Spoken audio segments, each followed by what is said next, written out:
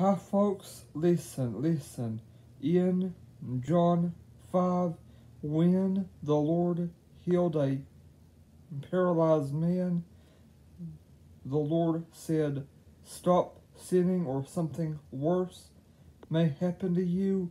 That is why I am making this video because of what the Lord said in John 5.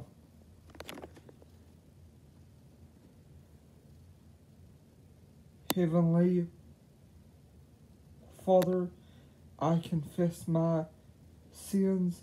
I forgive those that have sinned against me and or made me mad.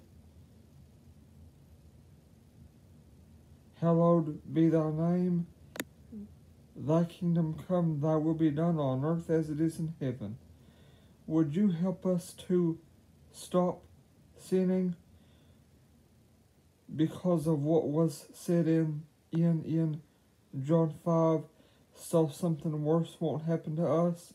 And also and also because of Matthew 6 says to pray to yield to not I mean I meant to say would you help us to to stop sinning because of what you said in in John 5 and also because Matthew 6 says to pray that we won't yield to temptation.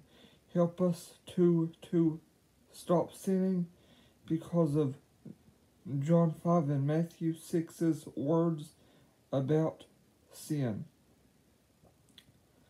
But but Lord, first John 1 says, if we say that we have no sin, we lie. So so Father, would you just help us to avoid sinning as much as possible? I confess my sins. May thy will be done, and thy kingdom come on earth as it is in heaven.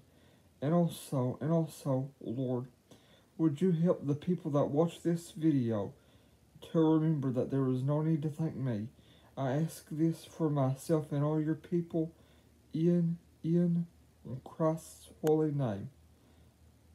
Folks, folks, never thank me, but if this video helps you, I definitely want to know. If it helps you, I definitely want to know, so please let me know. Thank you.